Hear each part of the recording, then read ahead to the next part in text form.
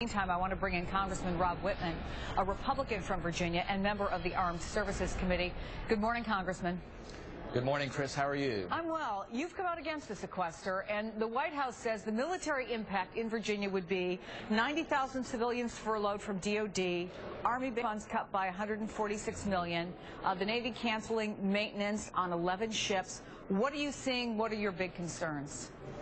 Well, my big concerns is, just as the President spoke of, the impact on Virginia's economy. We look at it and know that there could be up to 200,000 jobs affected by this, both direct and indirect, up to a $20 billion economic impact.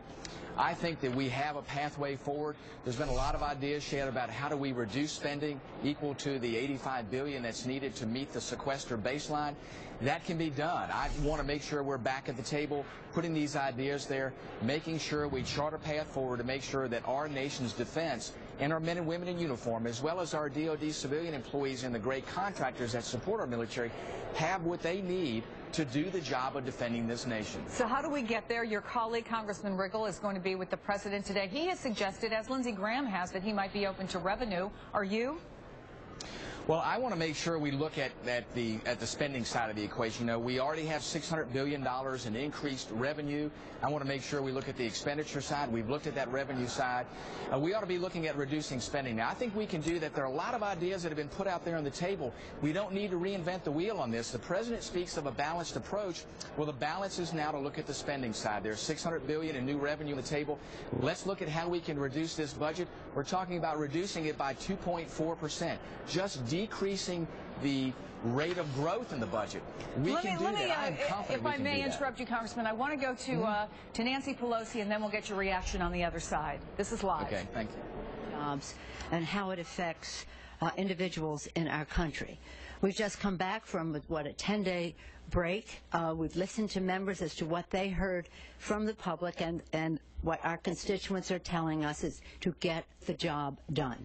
We're doing just that with a proposal under the leadership of uh, Chris Van Hollen ranking Democrat uh, on the Budget Committee. He'll talk about our proposal, which we have on, had on the table for a while. Our chairman talked about jobs. Month after month after month of private sector job increases, remarkable. That can be that can be reversed if we have this sequester, which is harmful to growth and harmful to job creation, in addition to be being harmful. For example, members told me about uh, psychiatric nurses who deal with PTSD of our returning vets who will be furloughed. Is that what the American people want? I don't think so.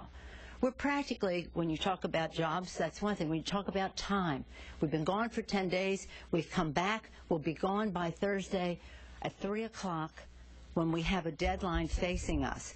We're practically becoming a drive-by Congress.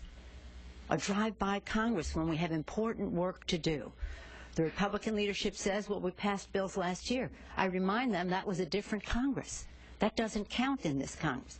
The Republican leadership says let the Senate begin. I remind them that the Constitution says that appropriations and revenue bills must begin in the House. We have important work to do. The American people want us to work together.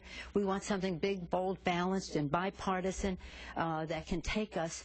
The Republicans say they're kicking the can down the road. It's not. Kick, I don't think they're even kicking the can down the road. I think they're nudging the potato across the table with their nose. There's not much that is being accomplished by what they are doing.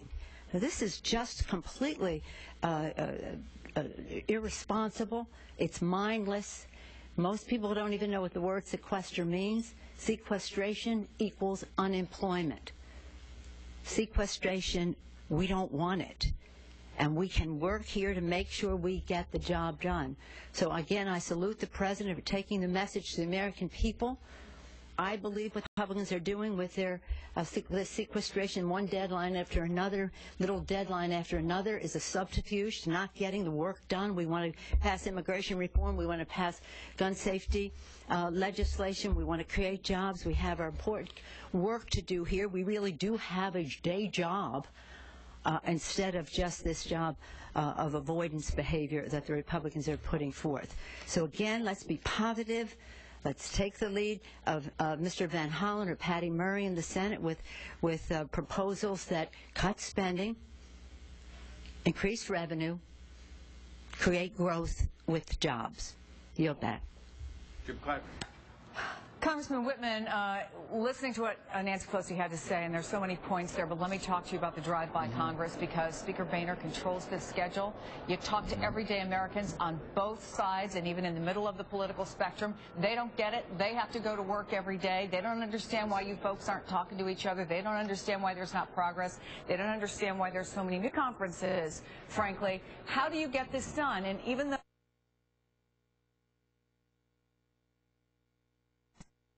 both sides. Well, I want to make sure that we are talking about, uh, as the president said, that balanced approach. I want to make sure we have that discussion about spending and making sure that we're here doing that. You know, I stood strong back in August when we were scheduled to go home for recess to say we need to stay in Washington then to get this done and through the September-October timeframe. We need to stay here now also and get this done. I am adamant to say that there are enough good ideas out there about how we can address this reduction in the spending to make sure we have our budget on a track to make sure we address the deficit. I think that's critical. I do think that's the balanced approach. We've talked about the, the revenue side. That's been addressed. Let's sit down and have this serious discussion about the spending side. Let's make sure we get that done. Congressman Rob Wittman, thank you so much for taking the time. Thank you, Chris. Senators John McCain and Lindsey Graham.